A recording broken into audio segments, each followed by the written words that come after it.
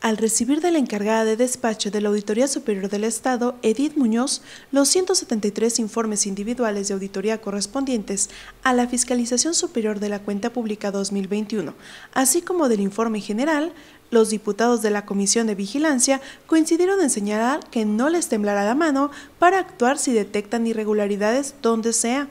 Pese a ello, el presidente de la Comisión Legislativa, René Yervid Ibarra, expuso que el tiempo de revisión de los informes es muy corto, ya que se tiene que someter a consideración del Pleno a más tardar el 15 de noviembre, de tal manera que se declaró la comisión en sesión permanente para empezar a trabajar de inmediato. Dejamos una postura. A nosotros no nos va a temblar la mano en nada para si encontramos y detectamos que hay faltantes o que hay señalamientos y donde la WEC junto con la se pongan de acuerdo y digan esto está así mal o este municipio está mal o este ente auditable o esta dirección de agua, etcétera, etcétera,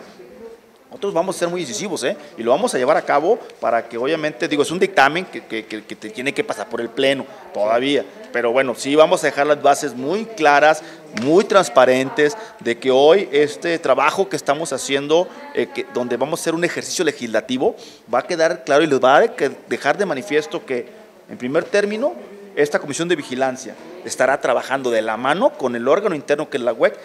El informe general concentra los resultados de la fiscalización que corresponden a 673 pliegos de observaciones, 1.468 acciones de promoción de presunta responsabilidad administrativa sancionatoria por una inadecuada conducta de los servidores públicos, 453 solicitudes de aclaración, 255 promociones del ejercicio de la facultad de comprobación fiscal y 1.508 recomendaciones que dan un total de 4.357 acciones que podrían derivar en denuncias de hechos ante la Fiscalía Especializada y denuncias de juicio político, entre otros.